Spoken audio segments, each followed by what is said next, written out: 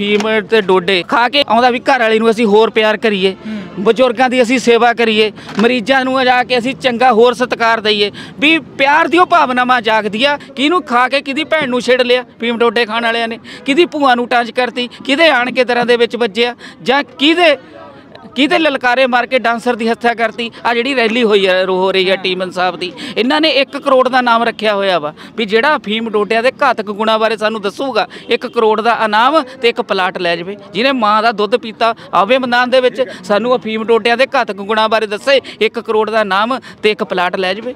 ਵੀ ਨੁਕਸਾਨ ਉਹਦਾ ਕੋਈ ਨਹੀਂ। ਕੋਈ ਨੁਕਸਾਨ ਨਹੀਂ ਡੋਡੇ ਦੇ ਵਿੱਚ 12 ਤਰ੍ਹਾਂ ਦਾ ਤੱਤ ਹੁੰਦਾ ਫੀਮ ਇੱਕ ਮਲਟੀ ਵਿਟਾਮਿਨ ਆ। ਇਹ ਤਾਂ WHO ਨੇ ਭਾਰਤੀ ਲੀਡਰਾਂ ਨੂੰ ਖਰੀਦ ਕੇ ਇਹਨੂੰ ਫੀਮ ਤੇ ਡੋਡਿਆਂ ਨੂੰ ਘਾਤਕ ਨਸ਼ਾ ਸਿੱਧ ਕਰਤਾ। 1870 ਦੇ ਵਿੱਚ ਅੰਗਰੇਜ਼ ਲੋਕ ਇਹਨੂੰ ਰੱਬ ਦੀ ਦੇਣ ਦੱਸਦੇ ਸੀਗੇ। ਜਦੋਂ ਅਮਰੀਕਾ ਦੀ ਸਿਵਲ ਵਾਰ ਚੱਲ ਰਹੀ ਸੀਗੀ ਉੱਥੇ 1800 ਕੁਆਂਟਲ ਉਹਨਾਂ ਨੇ ਫੀਮ ਆ ਜਿਹੜੀ ਆਪਣੇ ਫੌਜੀਆਂ ਤੇ ਲਾਈ। ਜਦ ਅ, ਲਾਈ ਤੇ 1839 ਤੋਂ ਲੈ ਕੇ 1842 ਤੱਕ ਚੀਨ ਤੇ ਇੰਗਲੈਂਡ ਦਾ ਯੁੱਧ ਲੱਗਿਆ ਰਿਹਾ। ਕਿਉਂ? ਫੀਮ ਕੋਈ ਨਸ਼ਾ ਨਹੀਂ ਹੈਗਾ ਬਾਈ ਜੀ। ਧਰਤੀ ਮਾਂ ਦੀ ਕੁੱਖ ਦੇ ਵਿੱਚੋਂ ਪੈਦਾ ਹੁੰਦੀ ਆ। ਰਾਜਾ ਰਾ- ਮਹਾਰਾਜੇ ਖਾਂਦੇ ਨੇ। ਰਾਜਾ ਬੜਿੰਗ ਵਰਗੇ ਤੁਸੀਂ ਦੇਖਿਆ, ਵਿਧਾਨ ਸਭਾ 'ਚ ਬੋਲਦੇ ਨੇ 80% ਪੰਜਾਬ ਦੇ ਲੀਡਰ ਖਾਂਦੇ ਨੇ। ਇਹ ਕੋਈ ਨਸ਼ਾ ਨਹੀਂ। ਮੈਨੂੰ ਅੱਜ ਤੱਕ ਦੱਸ ਦਿਓ ਨਾ ਵੀ ਫੀਮ ਟੋਡੇ ਖਾਣ ਵਾਲੇ ਨੇ ਕੋਈ ਕ- ਕ- ਥਾਣਿਆਂ ਦਾ ਕੇਸ ਦਿਖਾ ਦਿਓ। ਵੀ ਫੀਮ ਟੋਡੇ ਖਾਣ ਵਾਲੇ ਨੇ ਕਿਹੜਾ ਕ੍ਰਾਈਮ ਕੀਤਾ ਵਾ? ਜਾਂ ਇਹ ਦਿਖਾ ਦਿਓ ਵੀ ਫੀਮ ਟੋਡੇ ਖਾਣ ਵਾਲੇ ਨੇ ਕਿਹਦੀ ਮਾਵਾਂ ਭੈਣਾਂ ਨੂੰ ਗਾਲਾਂ ਕੱਢੀਆਂ ਸ਼ਰਾਬ ਨਾਲ ਬੰਦਾ 70% ਐਕਸੀਡੈਂਟ ਕਰਦਾ ਆਪਣੇ ਮਾਪਿਓ ਦੀ ਦਾੜੀ ਪੱਟਦਾ ਵਾ। ਠੀਕ ਹੈ ਨਾ ਜੀ? ਫੈਰ ਕਰਦਾ ਲਲਕਾਰੇ ਮਾਰਦਾ। ਫੀਮ ਟੋਡੇ ਖਾਣ ਨਾਲ ਤਾਂ ਜਿੱਥੇ ਬੰਦਾ ਸ਼ਾਂਤ ਸੁਭਾਅ 'ਚ ਰਹਿੰਦਾ ਉੱਥੇ ਦੀ ਲੰਬੀ ਉਮਰ ਵੀ ਹੁੰਦੀ ਹੈ।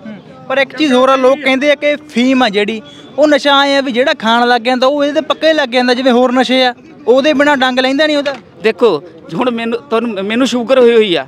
ਜੇ ਮੈਨੂੰ ਸ਼ੂਗਰ ਹੋਈ ਆ, ਮੈਂ ਦਵਾਈ ਖਾਊਂਗਾ ਹੀ ਖਾਊਂਗਾ। ਜਿਹੜੇ ਵੀਰ ਇਸ ਨਸ਼ੇ, ਇਹਨੂੰ ਲੱਗ ਗਏ, ਉਹ ਤਾਂ ਦਵਾਈ ਖਾਂਦੇ ਨੇ। ਜੇ ਦਵਾਈ ਆ ਇੱਕ, ਤਾਂ ਹੀ ਰਾਜਸਥਾਨ ਸਰਕਾਰ ਨੇ 19000 ਬੰਦਿਆਂ ਦੇ ਡੋਡਿਆਂ ਦੇ ਕਾਰਡ ਬਣਾਏ ਹੋਏ ਨੇ। ਹੁਣ ਜੀਭ ਤੇ ਰੱਖਣ ਵਾਲੀ ਗੋਲੀ ਦਿੰਦੇ ਨੇ।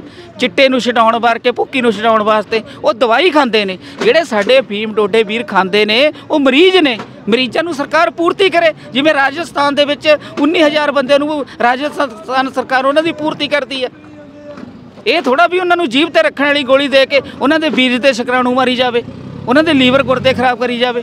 ਆ ਹੁਣ ਪੀਜੀਆਈ ਦੀ ਰਿਪੋਰਟ ਆਏਗੀ ਜਿਹੜਾ ਪੰਤਾਣੂ ਮਾਰ ਦਿੰਦੀ ਆ ਲੀਵਰ ਗੁਰਦੇ ਖਰਾਬ ਕਰ ਦਿੰਦੀ ਆ। ਮੈਨੂੰ ਨਸ਼ਾ ਛਡਾਊ ਕੇਂਦਰਾਂ 'ਚ ਮੈਨੂੰ ਦੱਸੋ ਤਾਂ ਸਹੀ ਜਿਹੜੀ ਪੀਜੀਆਈ ਕਹਿੰਦੀ ਆ ਵੀ 45 ਦਿਨ ਤੋਂ ਜ਼ਿਆਦਾ ਗੋਲੀ ਦੇ ਨਹੀਂ ਸਕਦੇ ਸਾਡੇ ਪੰਜਾਬੀ 5-5 ਸਾਲਾਂ ਤੋਂ ਖਾ ਰਹੇ ਨੇ।